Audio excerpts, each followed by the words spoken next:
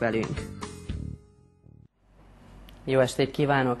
Létezik egy Vekerle terv, amely 2012-ben jött létre Magyarországon, és célja egy egységes gazdasági tér kialakítása a Kárpát-medencében.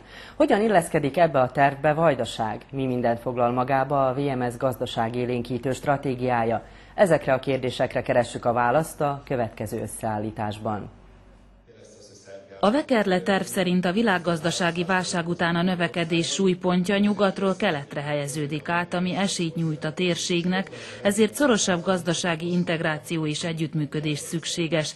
A Budapesti Nemzetgazdasági Tárca anyaga azt vetíti előre, hogy 2020-ra a Kárpát-medencei gazdasági tér integrációja eléri a nyugat-európait már a világossá vált, hogy a Kárpát-medence egységes gazdasági terének az újjáépítése az egy Budapest központú fejlesztési vállalkozás. Magyarország sikere azt is jelenti, hogy mi sikeresen tudjuk továbbvinni a vállalkozói ötleteket, pénzt, uniós forrást a Kárpát-medencébe, így. Ez a gazdaságfejlesztési terv végül is a Vekerle tervnek a vajdaságra vonatkozó, a vajdasági magyar közösségre vonatkozó elképzelésre. A másik momentum, ami ennek a tervnek az alapját képezi, az a feszítő szükséglet, amivel folyamatosan találkozunk, és amelyik az utóbbi egy-másfél évben fölerősödött, ez pedig a itteni magyar közösség egzisztenciális gondjainak a kezelésének a kérdése. A VMS két évig dolgozott a gazdaságfejlesztési terven, mintegy 200 ember részvételével. A stratégia első lépéseként meghatározták a vajdasági magyar közösség legégető problémáit. A helyzetleírást követően SWOT analízist végeztek, amely minden gazdasági stratégia alapvető eleme és a lehetséges veszélyek és eshetőségek mérlegelését jelenti egy-egy ágazaton belül. Ezután meghatározták a főbb csapásvonalakat és akcióterveket.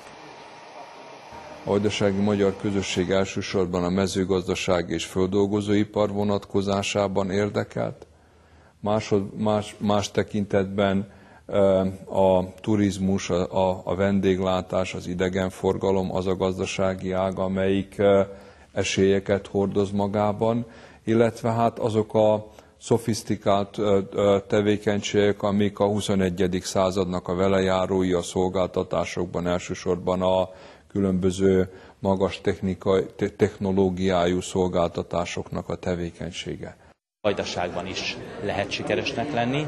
Lehet, hogy el kell menni egy időre, akár Magyarországra, akár az Európai Unióba valahova.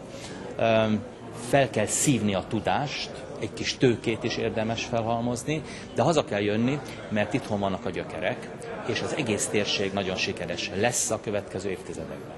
Közép-Európa egészen sikeres lesz, az Unió legsikeresebb övezete vagyunk, és a vajdaság itt van, a mi értelmezésünk szerint Közép-Európában. Tehát elmenni és visszajönni, de amíg itt, itt civil, közösségi hálókat lehet szőni, azokat meg kell szőni. A kisvállalkozások, az, az egyéni vállalkozások mikrohiteleken keresztül történő támogatását próbáljuk megvalósítani. Tehát egy-egy kis gazdaság tudjon úgy eszközök beszerzéséhez jutni, hogy kedvező hitelt tud kapni. Kedvezőbbet, mint a banki hitel. Emellett... Ez a... kitől? Ide is el fogunk jutni. Emellett az a cél, hogy a, a nagyobb vállalkozások, amelyek már alkalmazottakkal dolgoznak, úgy tudjanak fejlődni, hogy új munkahelyek tudjanak létrejönni, és új embereket tudjanak ezekbe a vállalkozásokba behívni alkalmazottként, munkahelyet teremtve. Illetve olyan vállalkozásoknak az erősítését célozza meg a program, amelyik beszállítói köröket generál, ami alatt azt kell érteni, hogyha például valaki abban gondolkodik, hogy megyföldolgozót fog létrehozni, ez nem csak azért fontos, mert egy hűtőház jön létre, és az ott dolgozóknak nyújt majd kenyérkereseti lehetőséget, hanem aznak a több tíz vagy nem tudom, nagyobb számú gazdának is, aki megyest fog ültetni, hogy ellássa beszállítóként ellássa ezeket a kapacitásokat. Ez gyakorlatilag ennek az elképzelésnek a, a gerince. A VMS elnöke a múlt év vége óta több ízben is tárgyalt Orbán Viktor magyar miniszterelnökkel az anyaország lehetséges támogatásáról, melynek célja a gazdaság fejlesztése, a vajdasági magyar vállalkozók helyzetbehozása. Pásztor István televíziónknak beszélt arról is jelenleg, hol tartanak ezek a megbeszélések, és milyen módon valósulnak meg majd a támogatások. Ezek a tárgyalások, ezek a beszélgetések a tavalyi év végén kezdődtek el a magyar kormányjal. Három menete volt már ennek a beszélgetésnek, az utolsó éppen most a napokban. Azt remélem, hogy valamikor május végéig ezek az elvi jellegű beszélgetések befejeződnek, és körvonalazódik az, hogy ezekből az elképzelésekből milyen ütemezéssel mit, hogy lehet megvalósítani. Mikor tudjuk létrehozni az alapokat, azok az alapok milyen föltételek mellett tudnak majd segítséget, illetve hitelkonstrukción keresztül támogatást nyújtani, akkor tudunk a föltételekről beszélni. Azt viszont szeretném elmondani, hogy ez egy nyitott rendszer fog lenni. Ennek a rendszernek nem az jelenti az alapját, hogy kinek van és kinek nincs pártpolitikai elkötelezettsége.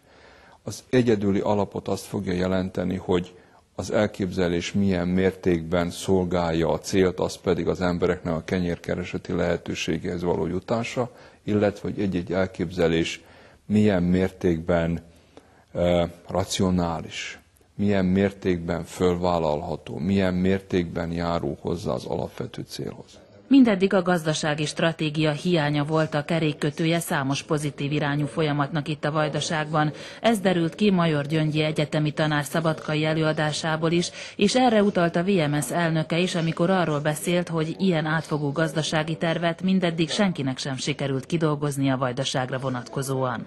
Azt gondolom, hogy az alapvető probléma az az, hogy gazdasági stratégiánk nem volt. Tehát igazából az oktatásban gondolkodtunk, az oktatásnak volt teljes prioritása, ami rendben van, de gazdasági mm, talapzat nélkül elképzelhetetlen, ugyanis az oktatás kitermeli a szakembereket, de a szakembereknek nem lesz meg az a, az a kötőszövete, aki be tudja építeni azt a tudást. És ez csak is nagyon-nagyon megfontolt, tudatos és kemény gazdasági elképzelések jövőben gondolkodó, hosszú távban, mindenképpen hosszú távban gondolkodó stratégia mentén valósulhat meg. Itt nagyon-nagyon oda kell figyelni most, és, és azt gondolom, hogy a Vekerle terv, és tényleg ez a, ez a gazdasági motiváció, ami, ami most itt megjelent a, a hátterünkben, ezt nagyon-nagyon értékelni kell, és ezt nagyon-nagyon okosan és tudatosan kell használni a, ki kell használni a pillanatot, az adott lehetőséget, mert ha elmulasztjuk a lehetőségek, akkor nem biztos, hogy lesz még egy visszatérő. Ugye a Matolcsi elnök úr is arról beszélt, hogy van remény, de nem hibázhatunk. Az biztos, hogy a lehetőségek léteznek, és az, amin most kell dolgozni, hogy az uniós szabályokat figyelembe véve, az itteni szabályokat figyelembe véve, és egyéb más szabályokat figyelembe véve, hogyan alakítható ki úgy a rendszer, hogy az jogszerű legyen, átlátható legyen, mindenki számára hozzáférhető legyen, és működőképes legyen.